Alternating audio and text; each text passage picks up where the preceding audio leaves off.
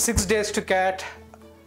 I think this is the time to relax. All that you have done for the past six months, eight months, or one hour, one year, whatever it is, is going to bear good fruit. Trust yourself on that. Figure out ways to relax, whether it is watching movies, sports, or whatever that might be, reading books. Make sure that you continue to read. Read newspapers, read editorials. Don't lose touch with reading. This is especially important for people whose verbal is not necessarily so good. You don't have to answer questions, but just read.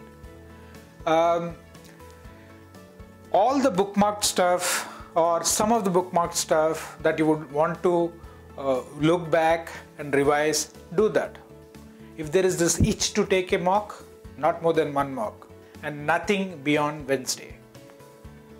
What's the reason? The reason is it's better to go into the exam hall feeling good about the your preparation rather than seeing that the last mock that you took was not something that you're really happy about as far as the scores are concerned.